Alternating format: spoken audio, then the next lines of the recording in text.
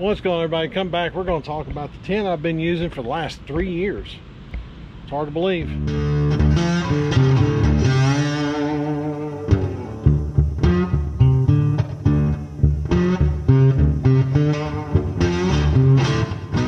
What's going on my outdoor crew? How are you doing? Hope this video finds you well. Well, I've been doing a lot of camping. A lot of camping here lately and more to come. Uh, got the big trip coming up. Time this video comes out, it may be happening, but done a lot of camping in this tent.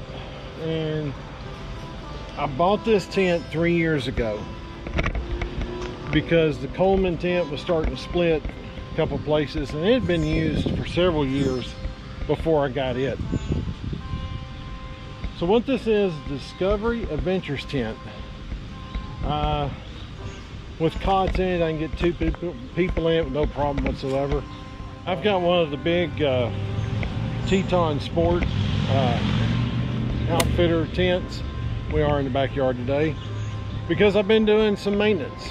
Uh, fixed to do some changing out. And I'll show you some of the things I've done on this tent. Um, this is kind of it's kind of the basis of the Coleman Insta tent where you slide the poles up, they stay with it the whole time, and it's deployed. Haven't had any trouble of them. I am going to look at putting some white lithium or something grease in the sliders of the poles. Um, right there is your slider. And I'm thinking about greasing that with something. Um, want it dry so it doesn't get onto the tent and mess with the tent but as you see I have the tent completely staked out right now. Um, the one of the things I'm fixing to do is change out the guidelines. Nothing wrong with these guidelines. They're working just fine. Um, I've never had a problem with them but I want something else. And I'm going to show you something else I do with this tent that uh, is just my own personal preference. And over the years of camping um, something I do but I'm fixing to change all the guidelines over to the Nite Ize glowing in the dark string.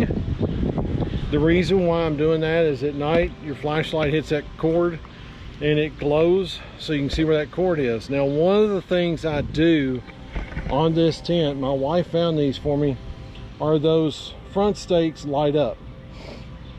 They'll flash or they'll stay on constant, whichever one I want to do. What I do is when I go camping, with this tent I'll put fresh AAA batteries in them I don't know how long exactly they'll last uh, with the two batteries. I turn them off in the mornings when I get up. Uh, usually turn them off when I go to bed. Usually. Uh, sometimes I do forget and they stay on all night. But I want the reflective cording too in case you get up in the middle of the night to go to the bathroom. Now one of the things I have always done with my tent with this tent especially because it has guidelines coming out the front and the back. Is stakes I put in guidelines I always try to use an orange or a bright colored stake in the front so you can see it at all times. Um, I kind of like the white stripe on this but this is green kind of a bright green with a white stripe that glows.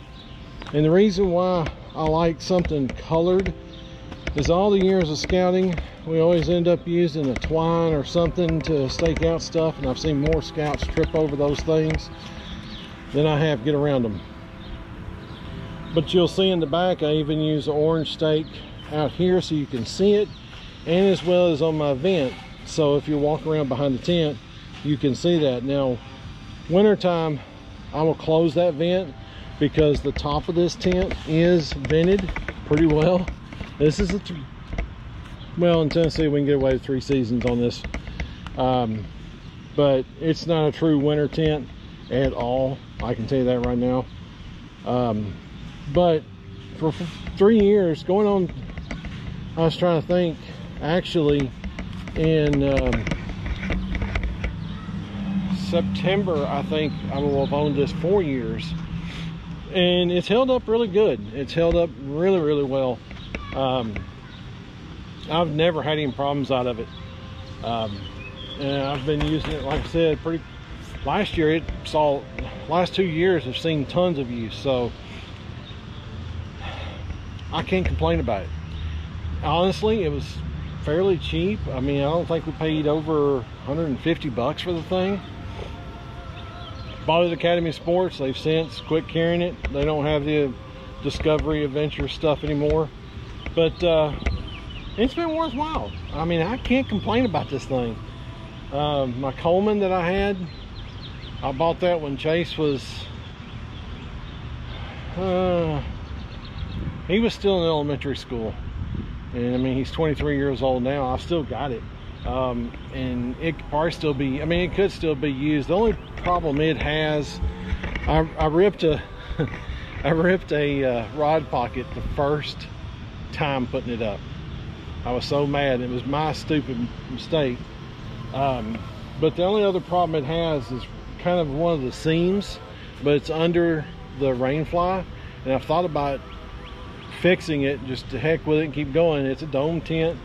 Um, I'll put the name of it down here, but I've had a lot of success on this thing. I can't complain about it.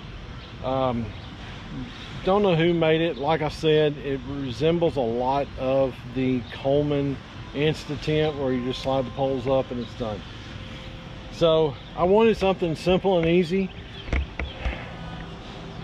I would like a Gazelle at some point and may get one, to be honest with you. Um, may get one eventually. But uh, for now, I mean, it takes me, by myself, it takes me 10 minutes to put this thing completely up, staked out and everything. Now, I will say this. If it's not raining, if it's not a real windy day or anything like that, a couple of these guidelines may not get done and the reason for being i'm only there for less than a few hours i'm gonna have enough gear in it. it's not gonna keep not gonna let the tent walk on its own um, so i just don't worry about it always open the vent in the back though ventilation but um, yeah that's it i mean three years it's been a darn good tent i will have to say that it's i I can't complain. It's giving me good service. And 150 bucks and it's lasted this long and I'm I'm not giving it up yet. I don't have the cabbage to put out for a gazelle right now. I got other things I want to buy for camping, but uh, yeah, that's it. That's it on the Discovery Adventures tent. Uh, you'll see it. Camping trips to come. But I have been seam sealing it today. That's why it's up in the backyard at home. So I thought I would bring that along and tell you what's going on. But uh, I do seam try to seam seal it like every year. And I just realized after the big uh, rain camp out that I did in the Smokies I hadn't done it for two years. And it it didn't leak. So whatever I'm doing I'm gonna keep doing. That's it for this one guys. I appreciate you watching. Uh, make sure you hit that like button share and subscribe and all that good stuff. And hopefully you're at the camp out with us at Cumberland Mountain State Park. If not we'll see you on the next one. Be prepared